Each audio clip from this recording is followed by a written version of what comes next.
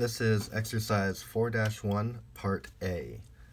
In this part of the homework, we are given the key and the triad, and we have to supply the Roman numeral below the staff. Be sure your Roman numeral is the correct type, and include bass position symbols. Finally, provide an appropriate lead sheet symbol above the staff using slash chord notation where appropriate. So actually, we're going to do this in reverse. We're going to find the lead sheet notation first, then we're going to uh, supply the Roman numeral. So let's look at this first one. Here we're in alto clef. We have a chord that is C, E flat, and G. We can see this is already in root position because it's stacked in a snowman. It's all stacked in thirds. So all we have to do to figure out what chord this is, is to look at what intervals are in the chord. So here, between C and E flat is a minor third between C and G is a perfect fifth, so that I know that this is a minor chord with a root of C. So this is a C, and because of the interval structure, minor third and perfect fifth above the root, this is a C minor chord. So that part's done. C minor.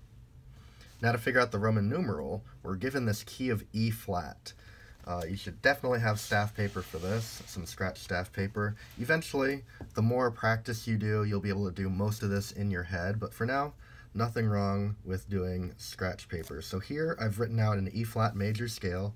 I've just used treble clef because that's what I read the easiest. You can use whatever clef you like. Uh, so we want to place the C minor chord in the context of E flat major. So we want to know where is C in the E flat major scale? Well, C is the 1, 2, 3, 4, 5, 6th scale degree. C is the submediant. So that means that the C minor chord, any chord built off of this C in the key of E flat major, will be a 6th chord.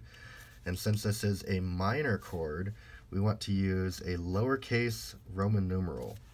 So lowercase Roman numeral 6, VI. So that is our Roman numeral. Some of these will not be in root position. Like if we scan ahead a little bit, um, if we look at, for example, number 4 here, number 4 we can see is not in root position, so we have one extra step. So here I've copied it over.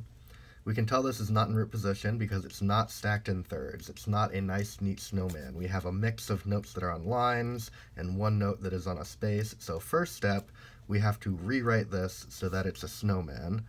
So I'm going to keep these two notes on lines, B flat and D.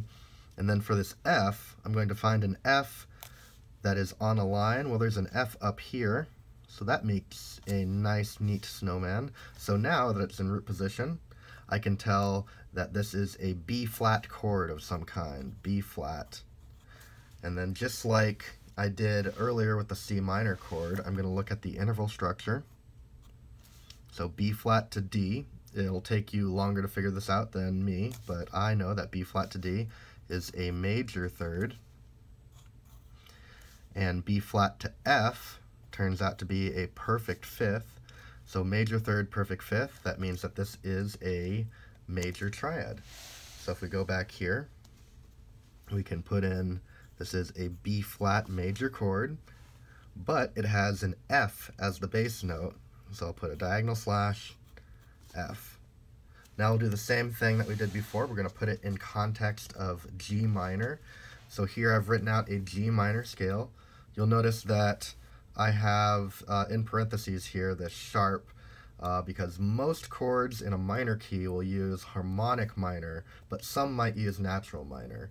So some chords might have an F sharp, some chords might have an F natural, in this case in G minor. So be aware of that. But other than that, we'll do the same thing. So B flat in the key of G minor, G, A, B flat, B flat, is the 3 chord. It's a major chord, so I'll use uppercase, 3.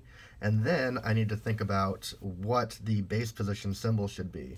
So F was our bass note, and looking at how we stack the chord up, we can see that F is the fifth of the chord. So the bass position symbol for when the fifth of the chord is in the bass is 6, 4. So as spelled here, this is a 3, major 3, 6, 4. And those bass position symbols you just have to memorize, right? Either 6, 6, 4, or nothing if it's root position.